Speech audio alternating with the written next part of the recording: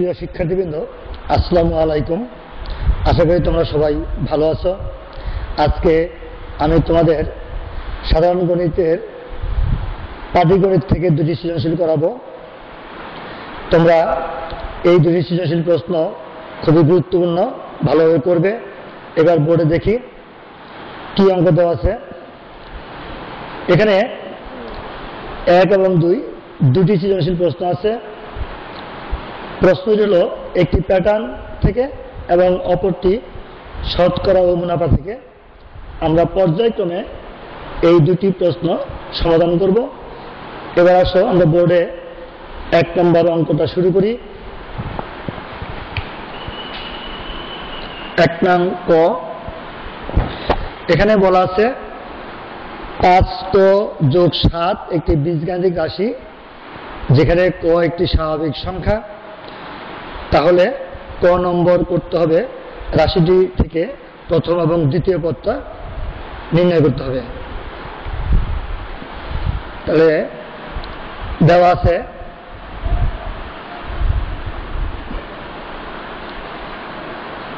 বীজগাণিতিক রাশি সমান পাঁচ সাত। যেখানে ক একটি স্বাভাবিক সংখ্যা।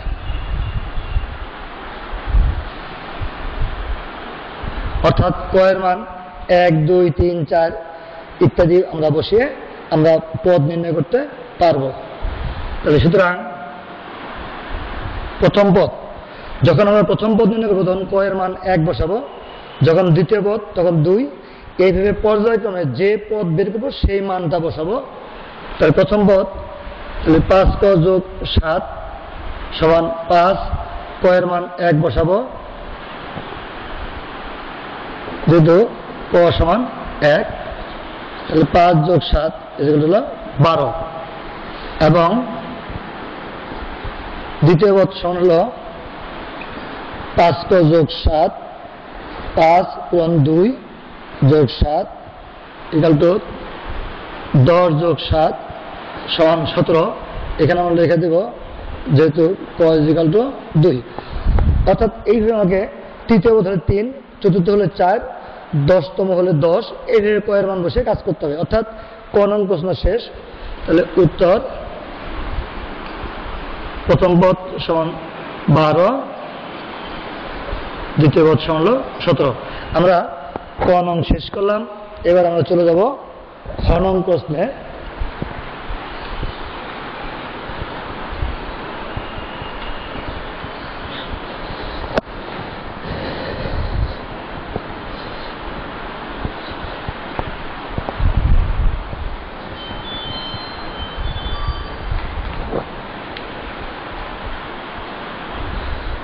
নং প্রশ্ন বলছে উদ্দীপকের আলোকে প্রথম তিনটি পদের জ্যামিতিক প্যাটার্ন নির্ণয় করে মোট রেখাংশের সংখ্যা নির্ণয় কর। অর্থাৎ প্রথম তিনটি পদ লাগবে, তাহলে প্রথম দুটি পদ আমরা ক নং প্রশ্নে করেছি। এখন ওখান থেকে আমরা সাহায্য নেব এবং তিন নম্বর পদটা বের করব। তারপরে আমরা জ্যামিতিক প্যাটার্ন তৈরি করব এবং সেই জ্যামিতিক প্যাটার্নের মোট রেখাংশ কয়টি, সেটা নির্ণয় করব। তাহলে ক হতে প্রাপ্ত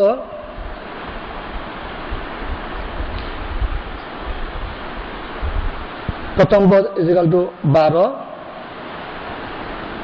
দ্বিতীয় পদ ইজিক্যাল টু সতেরো।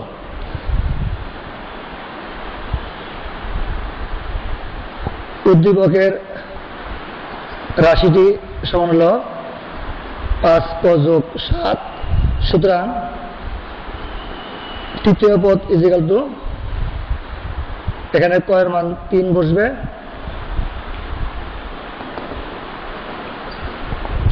তাহলে তিন পাঁচ পনেরো সাত, সমান বাইশ তাহলে প্রথম তিনটি পথ, তাহলে সুতরাং প্রথম তিনটি পথ যথাক্রমে বারো, সতেরো এবং বাইশ। এবার আমাকে জ্যামিতিক প্যাটার্ন তৈরি করতে হবে। তাহলে প্রথম তিনটি পদের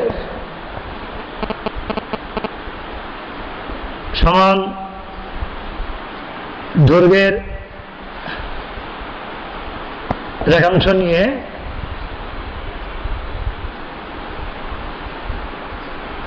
জ্যামিতিক প্যাটার্ন অঙ্কন করা হলো।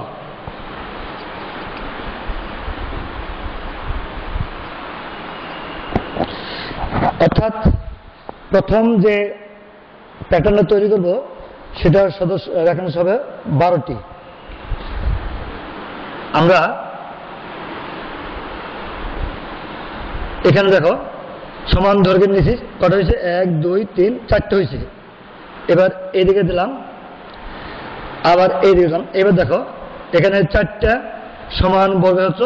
এবার এক, দুই, তিন, চার, পাঁচ, ছয় সাত আট নয়, দশ, এগারো, বারো। অর্থাৎ এটা হলো প্রথম পদের জ্যামিতিক প্যাটার্ন ঠিক এর সাথে আরও পাঁচটা বাড়বে। তাহলে পাঁচটা বাড়লে আমাদের চিত্রটা হবে এরকম, সমান দৈর্ঘ্যের। আমি হাত দিয়ে আঁকছি দেখে হয়তো সমান নাও হতে পারে। তোমরা স্কেল দিয়ে মেপে আঁকবে, দেখবা সমান হয়ে যাবে।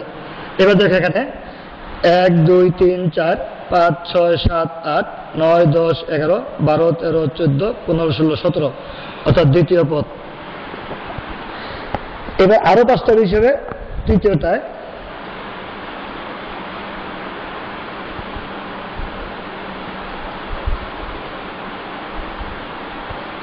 অর্থাৎ একটা করে মানে দুইটা করে বড় হতে পারবে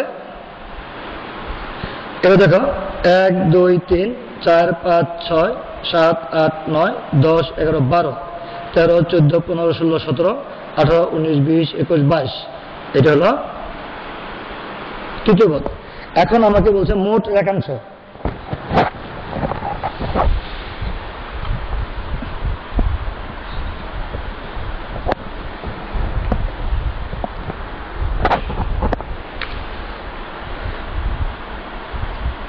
প্রথম পদের জ্যামিতিক জ্যামিতিক প্যাটার্নের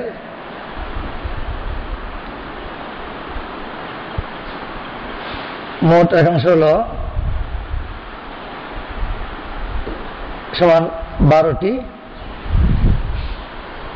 দ্বিতীয় পদের জ্যামিতিক প্যাটার্নের মোট একাংশ হল সতেরোটি এবং তৃতীয় পদের জ্যামিতিক প্যাটার্নের মোট রেখাংশ হল বাইশটি সুতরাং প্রথম তিনটি পদের জেনেটিক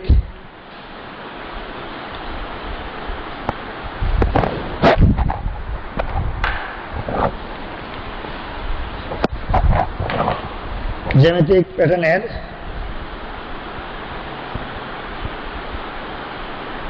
মোট একাংশ সমান বারো যোগ সতেরো যোগ বাইশ সমান যোগ করো দুই সাথে নয়, দুই, এগারো, তাহলে এক, তিন, চার, পাঁচ, এক, পঞ্চাশ। তাহলে উত্তর মোট একাংশ হলো একান্ন। আমরা খ নং প্রশ্নটি সমাধান করলাম। এবার আমরা গ নং প্রশ্নে চলে যাব। বন্ধুরা গ নং প্রশ্ন আমরা ক্লাস ফাইভেও করেছি।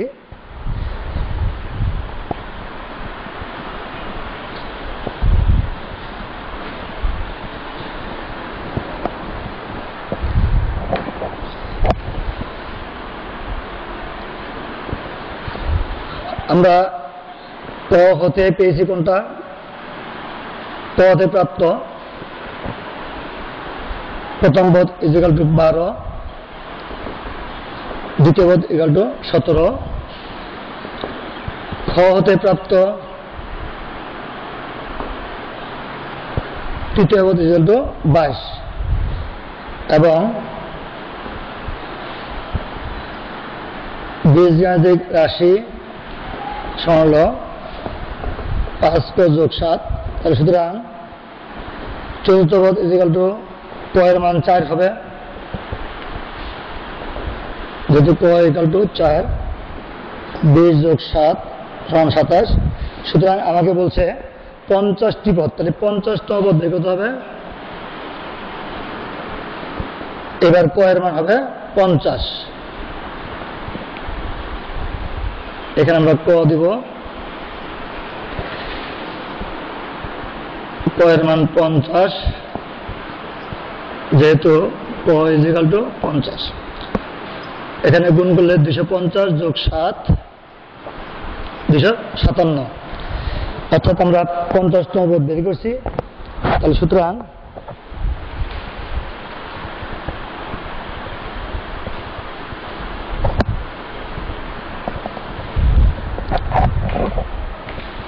সুতরাং প্রথম পঞ্চাশটি পদের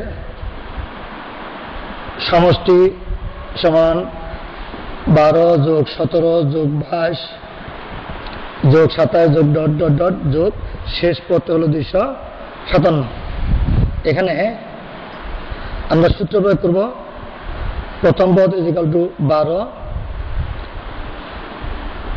শেষ পদ ইজিকাল টু দুইশো সাতান্ন, এবং পদ সংখ্যা ইজিকাল টু পঞ্চাশ, অর্থাৎ পঞ্চাশটি পদের সমষ্টি। তাহলে সুতরাং সমষ্টি সূত্র হলো প্রথম পদ যোগ শেষ পদ। পূরণ পদ সংখ্যা বা রাশি সংখ্যা যাই বলি না কেন, ভাগ দুই।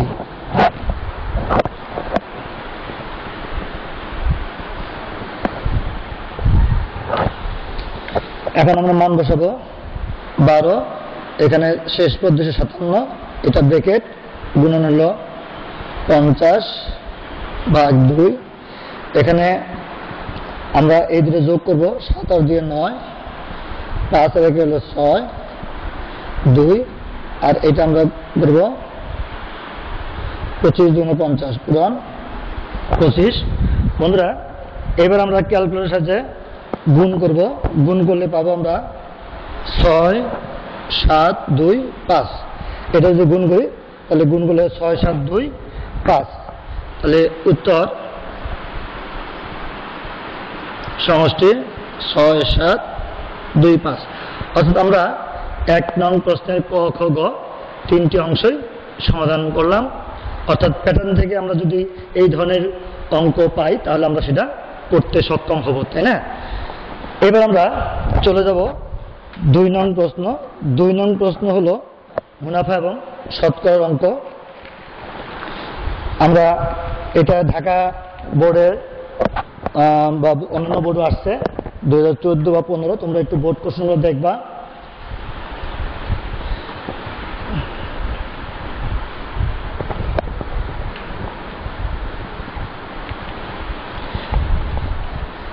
আমি একটু প্রশ্ন সম্পর্কে একটু আলোচনা করি।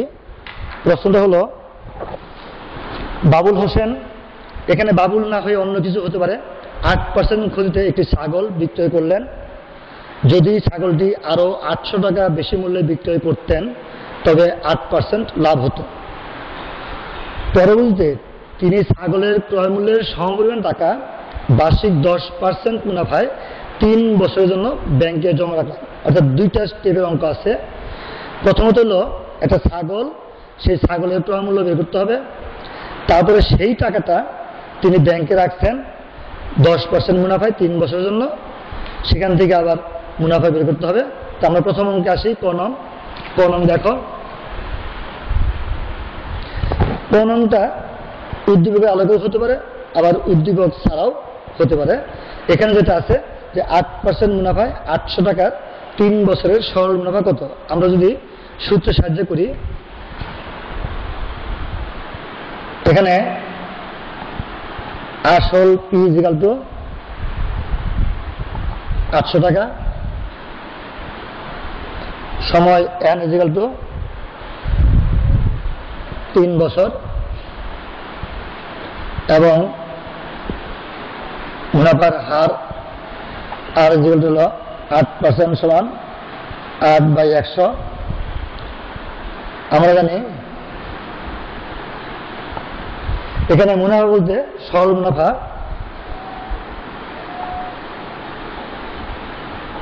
সরল মুনাফা I equal to P N R আমরা পি এর জায়গায় পি এর মান এন এর জায়গায় এন এর মান আর এর জায়গায় আর এর মান বসাবো।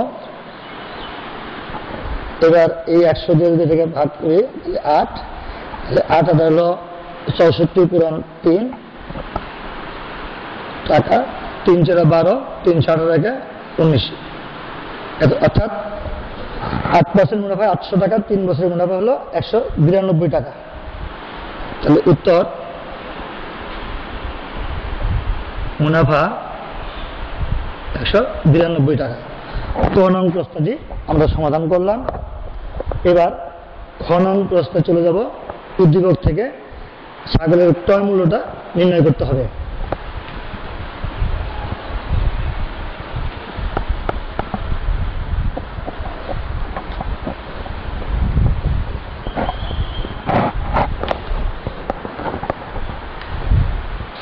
দুই খ তাহলে এখানে আমাকে প্রথমত ছাগলটা ক্ষতিতে বিক্রয় করা হয়েছে, পরবর্তীতে লাভে বিক্রয় করা হয়েছে, একই ছাগল। তাহলে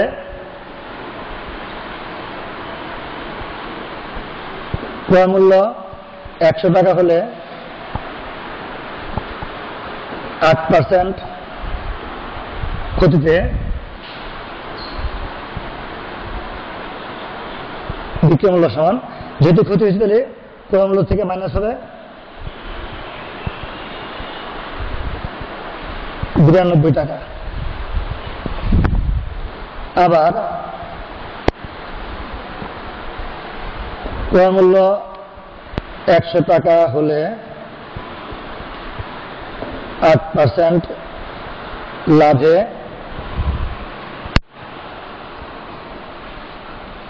বিক্রয় মূল্য এবার লাভ হয়েছে তাহলে যোগ হবে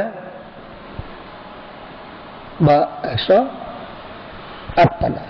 এটাও বিক্রয় মূল্য, এটাও বিক্রয় মূল্য। তাহলে সুতরাং উভয় বিক্রয় মূল্যের পার্থক্য।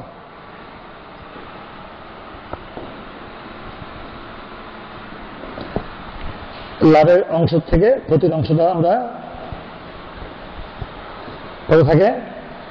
দুই, আট থেকে দুই হলে ছয়, আর নয় দশ হবে এক ষোলো টাকা।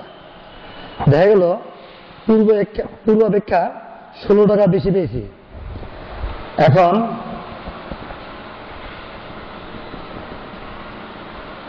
বিক্রয় মূল্য ষোলো টাকা বেশি হয় যখন ক্রয় মূল্য একশো টাকা।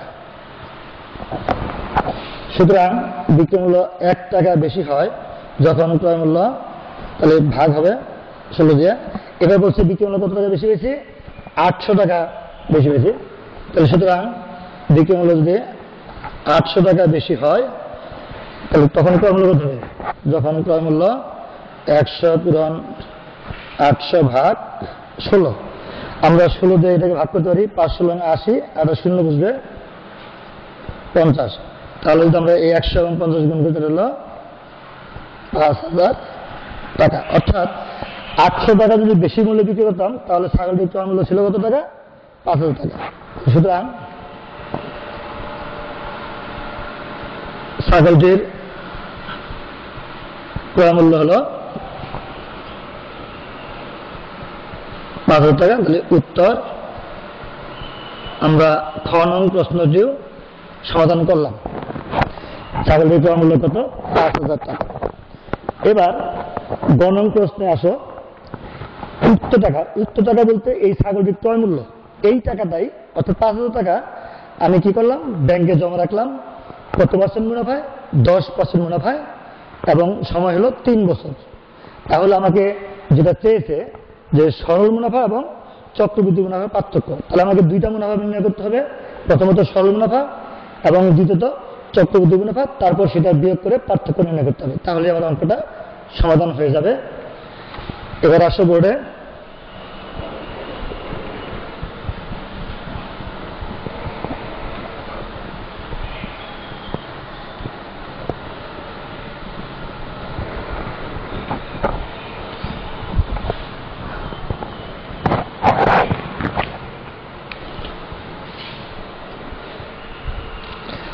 তাহলে খ থেকে প্রাপ্ত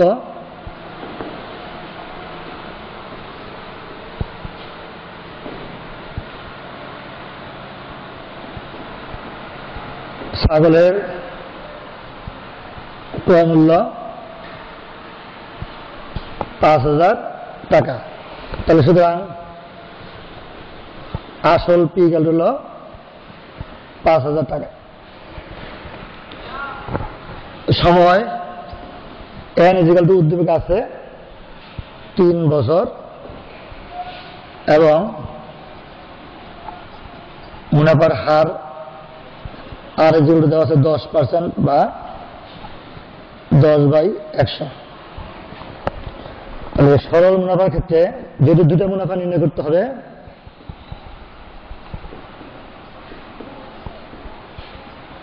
I equal to P N R P এর মান হলো পাঁচ হাজার এন এর মান তিন আর এর মান দশ বাই একশো এত টাকা।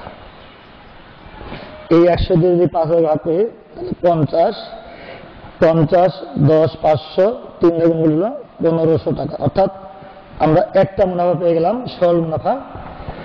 এবং চক্রবৃদ্ধি মুনাফার ক্ষেত্রে সবৃদ্ধি মূল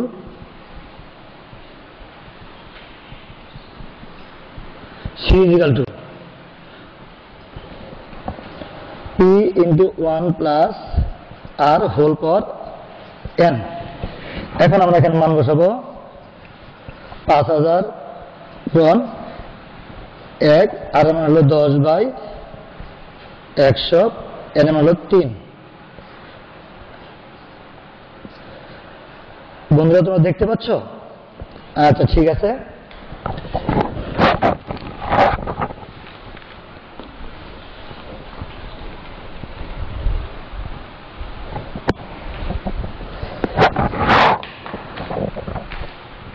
এবার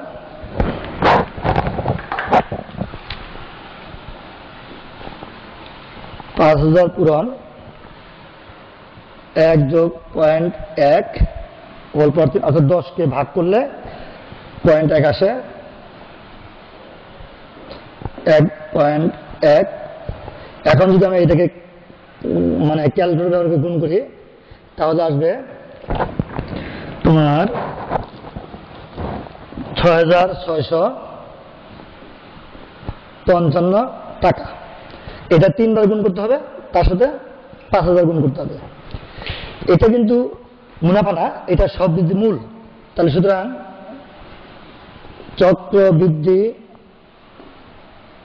মুনাফা equal to C minus P অর্থাৎ সব বৃদ্ধি মূল থেকে আমরা আসল কত? পাঁচ হাজার। এটা বিয়োগ করব, সমান হলো পাঁচ পাঁচ পাঁচ হাজার একশো।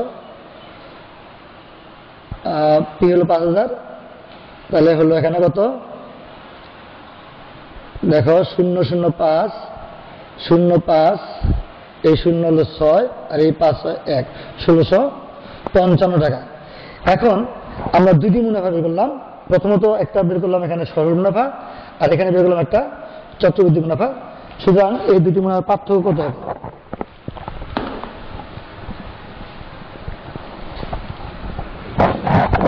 সুতরাং চক্রবৃদ্ধি, মুনাফা ও